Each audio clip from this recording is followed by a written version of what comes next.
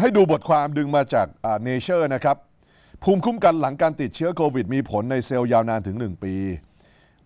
จริงหรือเปล่า ก็มันมีภูมิคุ้มกันหลังจากการติดเชื้อโควิด ซึ่งไม่ได้สูงเท่าภูมิคุ้มกันจากการฉีดวัคซีน แต่ว่ามันก็มีผลยาว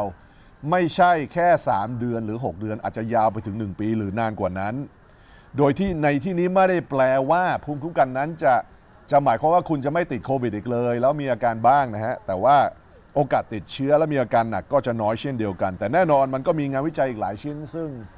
สะท้อนออกมาแล้วอย่างค่อนข้างปฏิเสธได้ยากว่าวัคซีนมันสร้างภูมิคุ้มกันได้เหนือกว่าแอนติบอดีตามธรรมชาติ แต่ว่าภูมิคุ้มกันในเซลล์มันก็เกิดขึ้นในระดับหนึ่ง ซึ่งก็เป็นสิ่งที่ไม่เสียหายนะครับมีเนี่ยแน่นอนก็ช่วยเพื่อบรรเทาอาการ